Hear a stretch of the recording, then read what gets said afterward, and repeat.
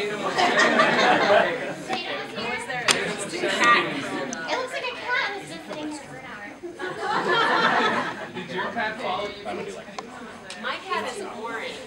Her cat is orange and my cat is too lazy to come here from Texas. She's at home. Are we- Uh, Lydia, you- Yeah. Uh, Literally the only reason. um, yay! There's a Lydia. We were like, are we the only one?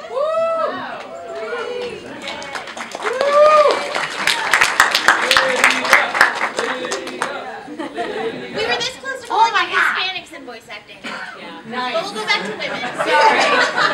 Sorry, I'm Had to broken up. widen it up. I'm sorry. Here it comes. to women. Although I will say, fabric huh? thing for monster costume making in this room. Um. Oh, smoking.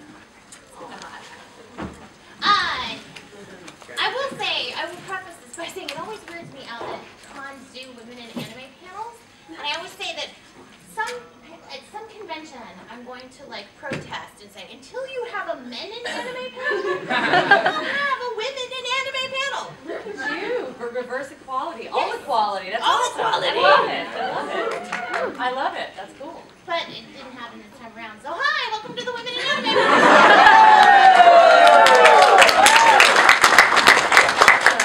Uh, I guess we should introduce ourselves. These aren't even on, are they? Hello? Oh, they're kind of on. Okay. Uh, I'm Brina Palencia. Oh, I thought you were going to They have cell phones. They can just Google us. We don't to the things we've done. that work at the bars too. It actually has before. It really does. I'm just giving you a hard time. Uh, I'm Monica Rial. Yes, thank you. And I'm Lydia Mackay. Hello, everybody. Thank you so much. So we're women We do voice acting. in anime. Yeah. Okay, great. See you guys soon. Let's go get beer. Um, I guess we should just open it up to you guys and let you guys ask us questions and we will answer you. Unless we don't wanna. In which case, we'll just go to the next question. No, I'm kidding. Um, what is, uh, what is your most favorite role that each of you have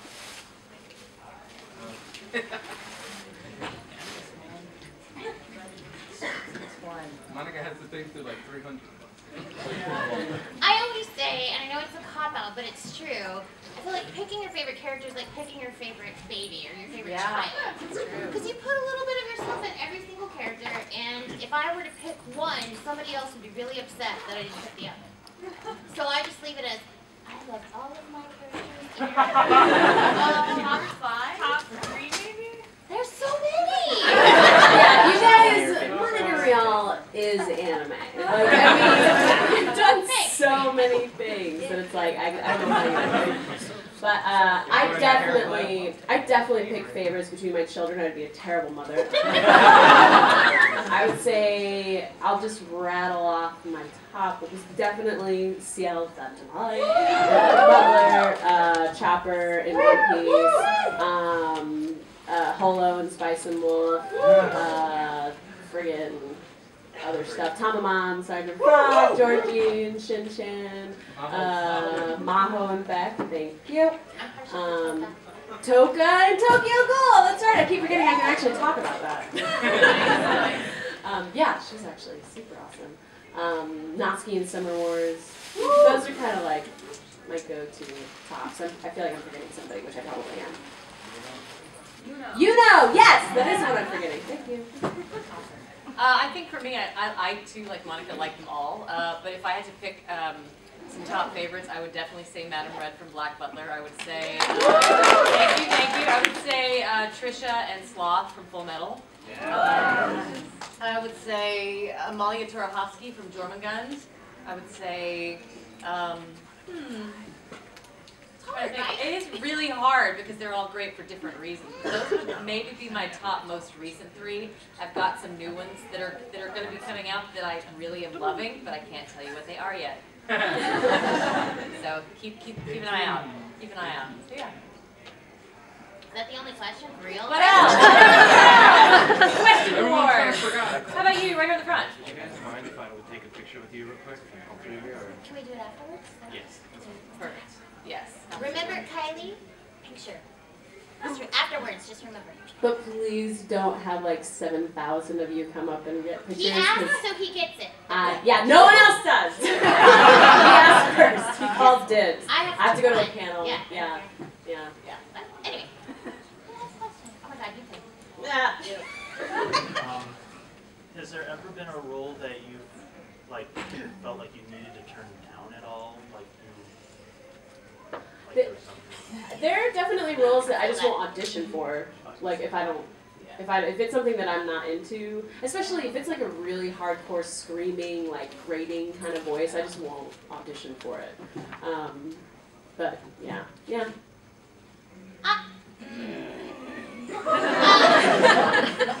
I uh, have no shame. I also know there's no point in me using a pseudonym because you guys can find me like a needle in a haystack. Like it doesn't matter if I go, "Ah," somebody's like, that's Monica Rial! so I don't use pseudonyms or anything. Uh, there's definitely been some shows that I've worked on that didn't seem so bad, and then when you get in there, it's like, ooh, I didn't know that was gonna happen. Didn't know it was that kind of party. Uh, so yeah, but nothing that I felt so violently about that I was like, die! I'm pretty easy one. Yeah, I, I kind of have no shame either. Um, uh, no, I'll pretty much, I'll pretty much, I'll pretty much say anything into a microphone. Um, uh, that's not the same for uh, on stage or on, on film, but that's the case with with uh, with voice acting. Um, but but I agree. There are things that you get involved in, and then you know episodes come down the pike, and you're like, I'm doing what today? and you have no idea, but you can't go. Well, I'm done. You have to keep going. Um, so yeah, that would, that would be my answer. I love too that we're all with the same agency. Yeah. Yeah, that's right. Yes. Texas. You get a picture of Laura Wall. Oh yeah, Oh yeah. They would kill us They all. They would. But uh, what happens, and I'm sure it happens for you ladies too, is that um, either Kim or Sarah, two of our agents, will call and be like, "So um, I have this audition for you from Funimation, uh, but I need to let you know that there's nudity involved." And I'm like, "They're not my boobs." Exactly. That's true. There's way more. There's way more like if it's if it's your own body, like it's uh-huh. totally different. But if it yeah, it's there's a lot more that you get away with in And if they're not, There There's are a lot of shows shows that that don't go have nudity. nudity. Maybe not what you watch. there wasn't nudity in Summer Wars. That's true. Yeah. Well, except for the little the little boys that are like when they're like, like in the bath, and it's like these little kids like this little little kid butt. Kid butt. No. Okay. There's a hand, I saw a red wig and a, and a hand back there. Yeah. Um, well, thank you very much for having this panel, first of all. Um, thank you to all of you. So my question for you is, when you prepare for a role, is there any kind of music or something that you or get into a character role? You can choose a specific one if you'd like. you. I would say for me, I don't, um, getting a sense of what they look like is really, really important to me. And then watching what the Japanese, uh, watching the Japanese version is really, really helpful just to see what they're doing, what the tone of the story is, and, and how the character is voiced in the Japanese version, which helps me kind of make the English dub happen. Um, but to get into character, I just, I don't know, I surround myself with, with what's happening in the story. So all of the given circumstances, you know, where they are, who their relationships are, that very kind of basic acting stuff is really important for me. Um, and to help me get into any character, I have to take my shoes off to record. That's kind of my thing. Um, um, but that's, that's, that's, that's pretty much me. It's pretty simple and pretty straightforward. I just get a sense of what they look like and who they are in the story and how I can kind of fill that, fill that void with my voice. We don't always have a lot of time, especially these days, yeah. to spend a lot of time like doing a lot of characterization and stuff. So I always tell like aspiring voice actors that the best thing you can do is take improv classes. Because a lot of what we do is literally like, hey, get in there. You're girl Yeah. A, and you're angry because you didn't do your homework. Go. And it's like you just have to wing it. Um, same thing with characters. Like I, I don't know about you, Lane, but I do vocal warm ups and stuff Yes. to get Yeah. voice ready. But then when you get there, um, sometimes I'll have like a line or a sound that I do. Like for Mey-Rin, for example, Ian used to laugh and giggle at me all the time because I would have to go before every line in order to get his voice out. Just before every line. But sometimes it'll be little words, or little phrases that can help, but we don't generally have a lot of time to sit and get all kumbaya with our characters. Yeah, yeah, you, yeah. You just have to kind of be a really open actor. Like you have to be able to just like 100% believe your circumstances once you're there. I went through a phase where I uh, tried to do like uh, Michael Chekhov technique while uh, with my characters, and I would like create. I would create their centers so that way like I would remember what their center is every time. I did that with Ciel and Juliet. Um, and Tamama. His center was right here. Um, but yeah, and that was that was helpful at the time, and I, I feel like it made me stronger at being able to get into it quickly to the point where I didn't feel like I needed it anymore. Yeah. And, and like the classic voice voice actor or, or any actor warm up is the huh huh huh huh. Yeah, Love just that. like loosening it. That's for me. Yeah. I have to do because usually my characters talk so quickly that you will see me driving down the freeway like. Because it actually warms up your lips so that you. Yeah. Sure, drivers in Dallas they love. You guys are the most like polite audience. They wait till everybody's done Love talking it. and they're like. nice. How about the lady with the camera? Hi. Um, I actually have a question for you. That's me. Awesome. Is Chopper's voice like really hard on your throat? Because I feel like he's really squeaky sometimes. You know, it's funny uh, because I, you know, I said earlier I hate doing characters that are really taxing on my voice, but Chopper is not that difficult. I think because I'm a soprano, like just having that like super high pitch. If I were doing that same level of whatever, like duh, like lower. If I was like you know trying to do it in a lower pitch, it would hurt, and I wouldn't even do that character. But uh, yeah, with Chopper, it does not hurt nearly as much. I prefer, I would prefer to scream in Chopper all day than scream as my regular voice all day. Um, but it's, even still, I, I don't. I try not to do more than two hours at a time whenever I uh, record him. Is it my turn? Yeah, you Okay. Uh, red. I- I'm drawn to red today. Um, now that simuldubs are more of a thing, um, do you guys find any differences between simuldubs or dubs that you end up doing after the show's already come out? Yeah. we don't know what's gonna happen. Yeah. yeah. Uh, a good example was Psycho-Pass 2. It was one of the early simul or broadcast apps what they're calling them. But uh, I went in and Zach was like, you know, hey, look, you might only be around for one episode. You're probably gonna die. It's looking like everybody's gonna die. and then I ended up being like one of the main bad guys. So you just don't know, which is terrifying for directors Yeah. and and our, as writers or as adapters, I work as an adapter as well. We try to give as much information as we can, but we're only getting it just before they do, so there's not a whole lot of time. Um, that's why uh, we made sure to tell everybody like we are going to go back for the DVD release and make sure that it's not the broadcast video, it's the actual DVD video. Do any pickups or any like little things we might have missed along the way, we're keeping tabs so that we can fix for the final video. But the main thing is getting it to you as fast as we can. Yeah, it, it does make it harder for up and coming voice actors though, because like Monica said, it's like even if it, you're just a bit part in one episode, it's possible that you might be huge. So they're afraid uh, to use someone that's completely green and completely new. At the same time though, I was talking to um, somebody who does like a lot of Walla at Funimation. Walla is like the um, it's like the like the additional yeah, characters. like the, the, well, yeah. anytime they're in a crowd scene and you hear like kind of that murmuring or whatever, that's Walla. And they said it's awesome for them because usually it's like they'll come in for two hours and do the Walla for the whole series. But now it's like, wow, you got to come in for an hour for every episode, like because we don't know what's happening. So it, it's good and it's bad for up and comers. I would agree with all of that. Nice. I'll pay. You in the red back there. Looks like if you're not wearing red, you're screwed. So, uh, is there a particular anime that you guys, maybe not your favorite, but you guys like worked together and that you just had a lot of genuine fun doing? I really liked working with you ladies in School Rumble. I remember that. That was Yeah. way back. That was way back. Yeah. Yeah. I'm a little offended that you didn't say that was one of your favorite characters. You characters. started it. You said it first. I'm safe. A lot. Yeah. That was fun. Uh, it's hard because we don't get to work Together. together.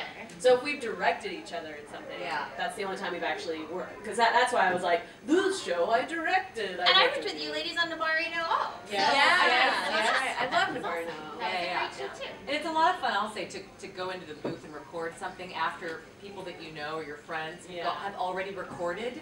And you go in, you get to hear their voice, you're getting to really act off of that. So I, I, I love that in any case.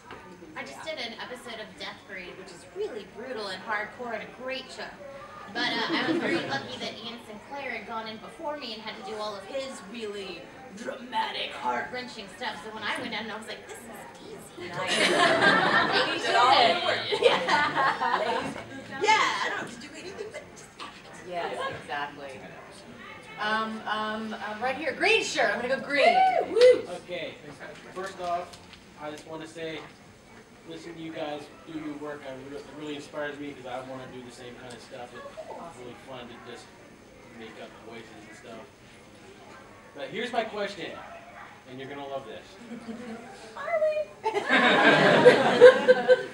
Has anyone ever come to you about a show that you've done and forgot you did it? Oh, all, all, have we forgotten you've done it? Yes. Yes, absolutely.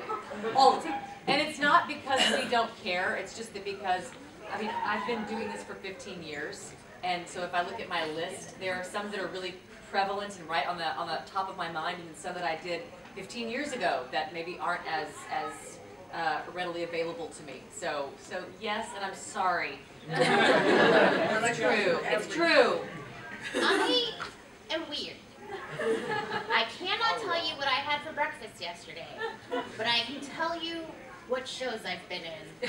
And for the majority of them, who I've played. It's like this weird Rain Man ability that I have That's never, amazing. nothing else.